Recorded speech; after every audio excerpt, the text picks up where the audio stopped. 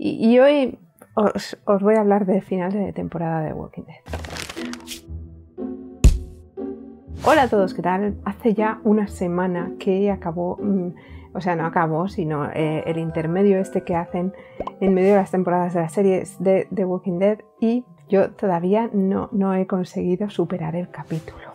Es que me pareció tan gratuito lo que hicieron al final que, en fin, voy a soltar spoilers, o sea, que hace ya una semana no, esto lo voy a subir martes, o sea, hoy hace una semana. Eh, mañana hará una semana y un día que, vi el capítulo. Así que bueno, si a estas alturas todavía no lo habéis visto, es que tampoco os importaría tanto. O sea que no me digáis aquí que os estoy haciendo spoiler y que no sé qué. Eh, todo lo que va de esta temporada me está costando mucho entender lo que están haciendo. No, no sé lo que están haciendo, no sé qué objetivo tiene todo eso que, que, han montado, no lo entiendo. Y bueno, y este último capítulo pues fue un tanto rarito, porque creo que nos han contado cosas que pasan después de cosas que no nos han contado. De hecho, ya empezó así en el primer capítulo. Y en el primer capítulo yo tuve una grandísima sospecha de lo que iba a pasar o al final de, de la temporada o en este capítulo que vimos la semana pasada. ¿Por qué? Porque bueno, la temporada empezó con esa especie de, de escena de los Serrano que dio tanto miedo cuando hicieron el tráiler de la Comic Con. No sé si lo habéis visto, pero en el tráiler de la Comic Con eh, había una escena súper rara que salía Rick con una barba blanca y como despertando de una especie de coma. Y tú decías, no, no, por favor, que no se marquen un Los Serrano porque será para matarlos. a lo mejor todo el mundo no conoce Los Serrano, pero Los Serrano fue una serie que hicieron aquí en España hace, yo qué sé, 10 años, que lo mejor que tenía era Alejos Auras, sin ningún tipo de duda. Era una serie de mm, dos hermanos o tres hermanos, no me acuerdo, que tenían un bar de jamón.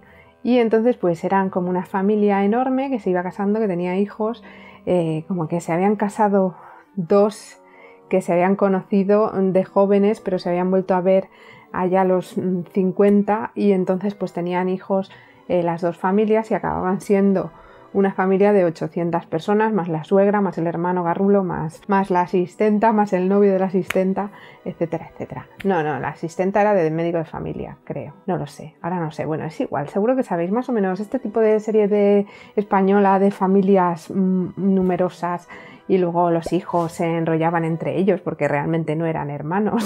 Total, que hubo un momento en Los Serrano que una de las protagonistas murió la mataron en un accidente o yo qué sé, pero llegó una temporada que la habían matado, ¿por qué? Porque se había ido a hacer mar adentro. Me parece que era o el orfanato o algo así. Total, que la serie aguantó como dos o tres temporadas más y al final de la temporada el protagonista, que era Antonio Resines, despierta de un sueño y resulta que, es que mm, se ha caído por una escalera o algo así y todo esto de, toda la trayectoria de la familia la ha soñado y están otra vez al principio de la serie. Es como súper triste. Y cada vez que pasa algo así en una serie, pues dices, joder, que ya van a hacerme un Los Serrano. Hicieron un Los Serrano en, en alguna serie hace poco. Ahora no sé decir cuál, pero, pero sí, se marcaron un Los Serrano. Seguro que Chimo se acuerda. Si está viendo este vídeo, que me diga ahí abajo qué serie fue la que hizo un Los Serrano. Bueno, el caso es que cuando vimos ese tráiler en la Comic Con dijimos, van a hacer un Los Serrano. Pero por suerte parece que no, porque ya el primer capítulo de la temporada empezó, me estoy aquí enrollando, me llevo 5 minutos diciendo cosas un poco tontas. El primer capítulo de la temporada ya empezó con este tema de Los Serrano. Y eh, intercalado con este tema de Los Serrano, que ya nos quedó claro que era una alucinación o algo así de Rick, como una especie de imaginación de su futuro perfecto, e intercalaban unas cosas de Rick eh, reflejándole luces como de una vidriera de una iglesia y Rick en un estado así un poco en shock. Yo ahí pensé, yo no sé si se lo dije a Chimo o no, no lo sé, no me acuerdo porque es que hablamos cada vez que, vemos un capítulo de estos, vamos haciendo nuestras teorías. Dije, como se carguen a Daryl, no sé qué les hago, porque solo había dos posibilidades, quizá tres. Una, Daryl. Dos, Carl. Tres, Michonne. Y quizá una cuarta que podría ser Judith, pero mm, en el estado que estaba Rick, yo creo que solo podían ser Daryl o Carl. Es que no había otra, no había otra. Y me ha dado tantísima rabia lo que ha pasado en el último capítulo y encima de esta forma tan estúpida. Claro, a veces yo me auto-spoileo y me voy a ver el cómic O, me lo auto-spoilea gente. Eso, no, eso ya no es auto-spoilearte, eso es spoilearte y a mala leche. Cuando, cuando pasó en la cuarta temporada creo que fue, o la quinta, este capítulo que, que, voy a spoilear la serie entera, o sea que si has llegado hasta aquí y todavía no te has comido un spoiler gordo y no has visto la serie y tienes intención de verla, para. bueno, este capítulo de la cuarta o la quinta temporada donde, donde parecía que habían matado a Glenn, y tú decías, mm, no puede ser porque ha pasado esto. Entonces nos ha parecido que han matado a Glenn, pero en realidad no. Y bueno, efectivamente luego no habían matado a Glenn, pues ya toda la gente en Facebook, en Twitter, en todas partes, no, no han matado a Glenn porque Glenn muere cuando sale Negan. Y dices, ¿quién es Negan? Porque a esas alturas todavía no sabíamos ni quién era Negan ni nada. De hecho, creo que tardó poco en aparecer Negan cuando pasó aquello. Y decías, pero tío, ¿quién es Negan? Cállate, déjame en paz. O sea, me spoilearon. Lo de Negan me spoilearon cosas con, con el tío este de antes de Negan, el emperador aquel o no sé qué era, el gobernador. Ahí también me spoilearon cosas y luego ya pues decidí poner en silencio a la gente que se dedicaba a spoilear The Walking Dead porque había leído el cómic. Pero a veces sí que voy yo y me spoileo mm, a mí misma. Y esto lo hice cuando vi el primer capítulo de la temporada. ¿Por qué? Porque yo sospeché que o se cargaban a Daryl o se cargaban a Carl. Pero Daryl creo que es un personaje que es solo de la serie, o sea, no, tiene su, su alter ego en el cómic, creo que es eh, de la serie. No lo sé porque no me he leído el cómic, pero, pero yo creo que he leído en alguna parte que Daryl no sale en el cómic. Y que también, por ejemplo, Carol está muerta desde hace mil años y en el cómic pues es un personaje que sigue ahí y que además tiene importancia. Entonces pues yo fui a buscar que mm, está Carl vivo en el cómic y sí, está vivo y parece ser que es como una especie de, yo qué sé, como el segundo líder de la resistencia. Así que bueno, me quedé un poco más tranquila, pero no tanto, porque es que esa cara de Rick solo podía significar Tarir o Carl, y es como, mm, te vas a cargar a, dos personajes que llevan ahí desde el principio y que además son mm, dos de los mejores personajes de la serie, y encima a Carl lo conocemos desde que era así. que tenía, ¿cuántos años tenía el niño? Ocho años, nueve años. Ha crecido con nosotros, le hemos visto crecer. Y, es una crueldad máxima lo que ha pasado en ese capítulo. Ya os digo, yo todavía no lo he superado. Lo de, lo de Glenn, al final fue un poco como sin pena ni gloria, ¿no? No, no he echado de menos a Glenn en todo lo que, lo que lleva también. Claro, como había hacía tanto tiempo que me habían dicho que se lo iba a cargar el tío este con el bate, pues oye, ya cuando llegó la escena yo tenía esperanza de que a lo mejor cambiaran de idea y dejaran a Glenn vivo y se cargaran a Abraham. Pero si se cargaban a Abraham había posibilidades de que también se cargaran a Glenn, que fue al final lo que pasó, se cargó a dos en vez de a uno. Y eso, entonces ya sabemos que el cómic y, la serie pues van por dos caminos diferentes y que no, no puedes considerar a nadie a salvo por mucho que esté a salvo en el cómic.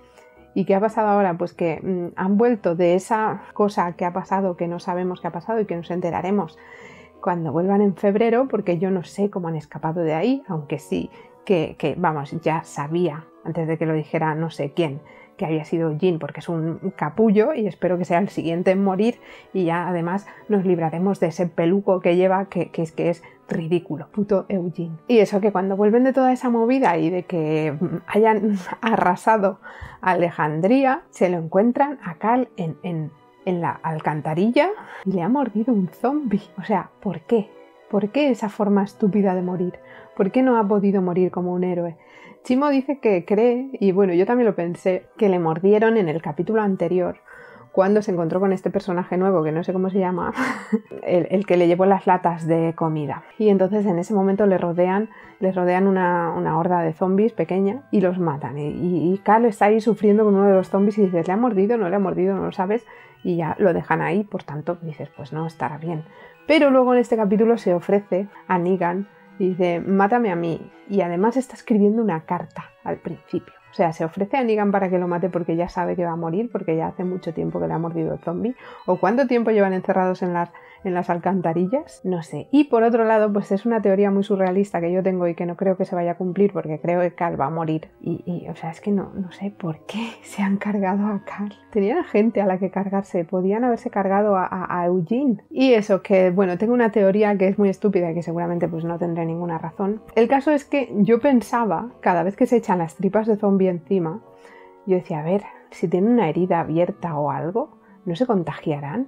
Y eso se confirmó con, el cura, que no me acuerdo cómo se llama, Gabriel, eh, que se echó las tripas de zombie encima y al final se ha contagiado con, con, lo que sea. No sabemos si va a morir o no va a morir porque realmente no le ha mordido ningún zombie, pero sí que ha cogido la infección esa que te mata. Entonces no sé, pero a lo mejor, como no ha sido una, una infección por mordedura, resulta que se cura y, como va con el médico, porque va con el médico, pues el médico mm, en esas condiciones precarias en las que viven, por eso digo que es una teoría muy surrealista, consigue extraer una mm, vacuna contra la infección zombie y curan a Carl. Ya, no, si yo me doy cuenta que no, que es absurdo y que es estúpido y que a Carl lo van a matar, pero me queda una mínima esperanza de que dejen que se salve, porque es que me parece horrible haber matado al niño. Podrían haber matado a Judith, por ejemplo, porque Judith, a ver, si es muy cruel matar a una niña de tres años, no, no la conocemos, a Carl sí.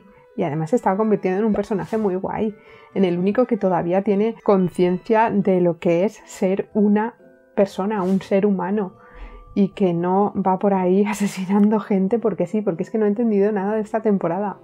Nada, están matándose entre ellos a lo bestia y sin ningún tipo de remordimiento. Que el único que, o sea, en cierto modo también, matando a Carl, han matado la esperanza. Y la esperanza de volver a recuperar una vida normal una vez esto termine, que si es que termina alguna vez el apocalipsis zombie, ¿no? Porque si todos tienen el virus zombie dentro, todos van a acabar siéndolo tarde o temprano, pero no lo sé, alguna forma debe haber de, recuperar la humanidad y, la humanidad realmente ya la han perdido porque se están matando entre ellos. Que hasta aquí el vídeo de hoy que sigo sin haber asimilado lo que vi el otro día en el capítulo, que sé que cuando vuelvan en febrero vamos a ver a Carl muerto y va a ser todo horrible y creo que es una de esas muertes que no les voy a perdonar. Así que nada, decidme ahí abajo lo que queráis. No he hecho un comentario de la serie realmente porque me habíais pedido, alguien me pidió que hiciera una reseña de la serie en uno de estos sábados de libro, serie o película.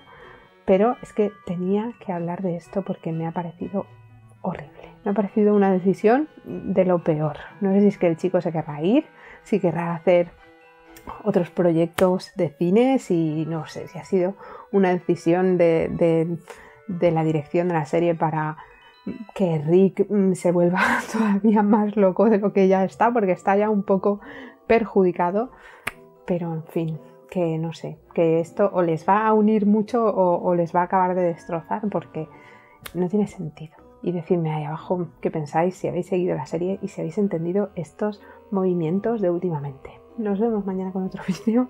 Espero que paséis una buena mm, semana. Hasta luego.